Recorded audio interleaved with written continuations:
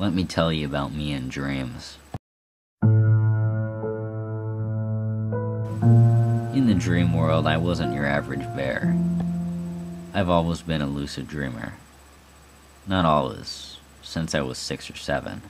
Lucid dreaming means you know you're dreaming, but it's much more than that, because there are different levels of lucidity. All of my dreams start out at the first level, the level in which you know you're dreaming, but it's kind of in the back of your mind and you're not really enlightened by it yet.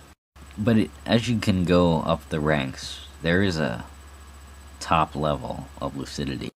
At this top level, you can achieve a complete, pure, perfect clarity that just comes. It's like you can sense every crevice of the world across the vast open expanse as far, much farther than the eye could ever see. Lucid dreaming, I feel, has been an integral part in my growth. When I was six or seven, I lived in Port St. Lucie, Florida, and my parents told me I had night terrors.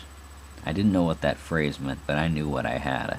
They were serialized, horrible dreams that I had over and over again every night. Each chapter in the book would repeat itself numerous times before the next one was written, but the storyline ended when I put my foot down. I told them that I was running the show. Maybe I hadn't been running the show before, but I eventually garnered enough knowledge and skill set in the dream world to be able to control what was so rightfully mine. If there was ever such a thing as a revolution or overthrowing a power, this was one of them.